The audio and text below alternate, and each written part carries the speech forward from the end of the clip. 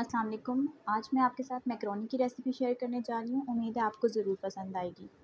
इसके इंग्रेडिएंट्स में मैं गाजर यूज़ करूँगी, शिमला मिर्च यूज़ करूँगी, जिनको मैंने बारीक काट लिया है। आप चाहें तो किसी भी तरह से इनको काट सकते हैं। उसके अलावा मैं इसमें चिकन ऐड करूँगी, बारीक कटी हुई बंद गोभी ऐड करूँगी। साथ ही मैं इसमें चिली सॉस सोया सॉस और विनीगर यूज़ करूँगी और मटर यूज़ करूँगी।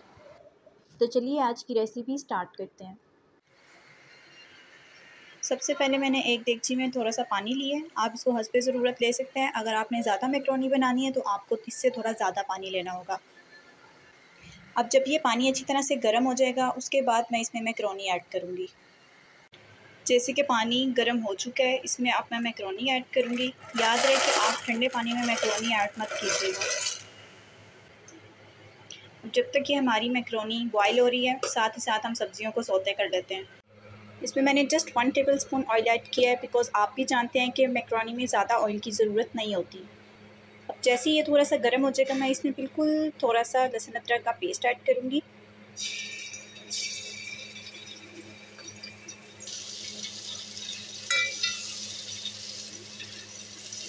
जैसे इसका कलर थोड़ा सा चेंज होने लगे, हम इसमें चिकन ऐड करेंगे।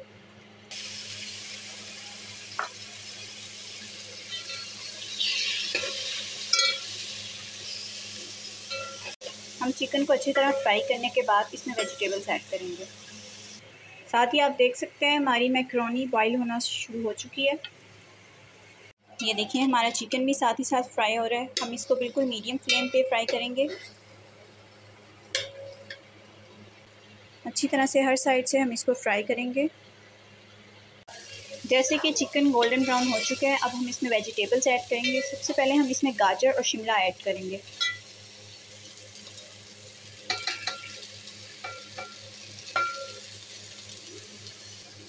मैंने अभी सिर्फ़ शिमला और गाजर ऐड किए क्योंकि इनको पकने में थोड़ा सा ज़्यादा टाइम लगता है। आप चाहें तो सारी वेजिटेबल्स एक साथ भी ऐड कर सकते हैं।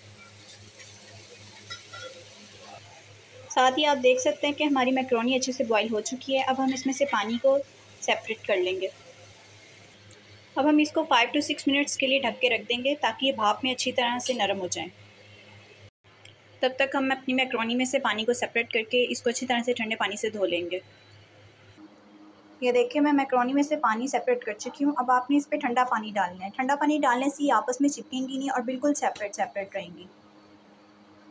ये देखें कितनी अच्छी लग रही है और बिल्कुल सेपरेट सेपरेट हैं। आपस में बिल्कुल भी नहीं चिपकी। ये देखें आफ्टर फाइव टू मिनट्स ढक्कन उठाने के बाद मैं इसमें मटर और बंद गोभी ऐड करने जा रही हूँ।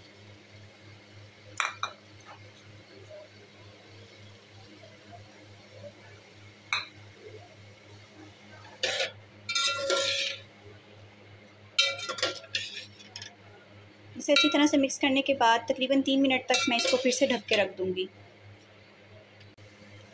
ये देखिए, काफ़ी हद तक ये सोते हो चुकी हैं।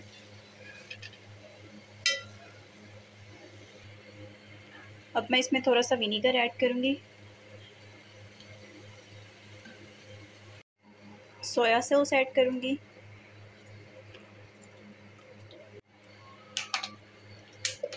अब मैं इसमें चिली सॉस ऐड कर रही हूँ।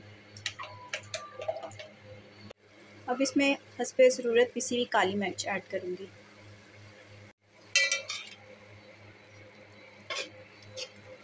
ठीक है एक से दो मिनट बाद मैं इसमें बॉईल की हुई मैक्रोनी ऐड इसको अच्छी तरह से मिक्स कर लेंगे।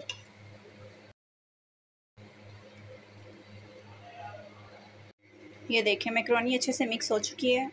अब just for next three minutes हम इसको ढक के रख देंगे। उसके बाद हमारी मैक्रोनी बिल्कुल रेडी हो जाएगी। तो